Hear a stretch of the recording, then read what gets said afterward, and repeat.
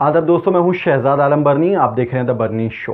आज मैं अपने शो में जो मुद्दा लेकर के आए वो मुद्दा एक ऐसे बुज़ुर्ग से जुड़ा हुआ है, जो देश का सबसे ज़्यादा उम्र का इंसान बन गया है, जिसने कोरोना को हराया है।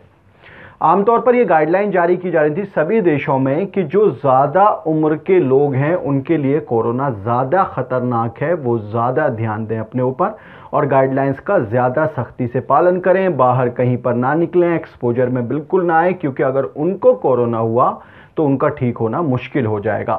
ज़्यादातर मरने वालों की भी तादाद उन्हीं की है जो 50 साल से ज़्यादा उम्र के लोग हैं। देश में अभी तक 8 लाख से ज़्यादा लोग कोरोना के संक्रमण का शिकार हो चुके हैं, जबकि 5 लाख के करीब उसमें से ठीक भी हो चुके हैं।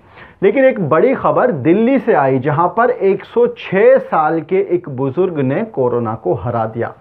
106 साल इनकी उम्र है। आप लगाइए अंदाज़ा। 1914 की इनकी पैदाइश है। चार साल की उम्र में जब 1918 में स्पेनिश फ्लू फैला था, तब चार साल की उम्र में स्पेनिश फ्लू का भी शिकार हुए थे, लेकिन अब 106 साल की उम्र में कोरोना का शिकार हुए। दिल्ली के नवाबगंज के रहने वाले हैं मुख्तार अहमद, इनका नाम है। मुख्तार अहमद को अप्रैल 14 को दिल्ली के Rajiv Gandhi super speciality hospital में भर्ती कराया गया था और एक मई को ठीक होकर के वो वापस अपने घर आ रहे। मुख्तार अहमद का कहना है कि उन्हें उम्मीद नहीं थी कि वो बच करके वापस आएँगे, लेकिन वो आ गए हैं और वो बिल्कुल ठीक है। साथ ही उन्होंने ये भी कहा कि उनके बचपन में स्पेनिश फ्लू जैसी खतरनाक महामारी फैली थी। अपनी ज़िंदगी में उन्होंने कोरोना जैसी बीमारी बी, कोरोना जैसी महामारी कभी नहीं देखी है। सवाल ये बनता है कि अगर 106 साल के बुज़ुर्ग का जो तजुर्बा है वो ये कहता है कि ये बहुत ही ख़तरनाक महामारी है तो इसका मतलब ये है कि परिणाम बहुत ही ख़तरनाक हो सकते हैं।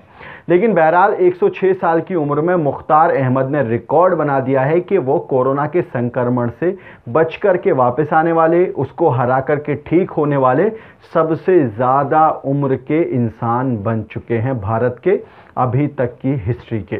बहरहाल हम मुख्तार अहमद को और उनके परिवार वालों को मुबारकबाद देते हैं और आप सबसे ये अपील करते हैं कि कोरोना से बच कर के रहें गाइडलाइन का ज़्यादा से ज़्यादा पालन करें और कोशिश करें कि कम से कम एक्सपोजर में आए।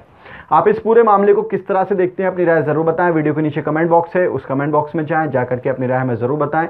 आज के इस एपिसोड में इतना ही। हमारी आपसे रिक्वेस्ट है कि इस वीडियो को शेयर ज़रूर करें और हमारे चैनल को सब्सक्राइब ज़रूर करें और आप हमें सोशल मीडिया पर, यानी कि इंस्टा ट्विटर और फेसबुक पर फॉलो करने के लिए वीडियो के नीचे जो लिंक्स दिए हुए हैं, उन लिंक्स पर जाकर के आप हमें सोशल मीडिया पर फॉलो कर सकते हैं। बहुत बहुत शुक्रिया।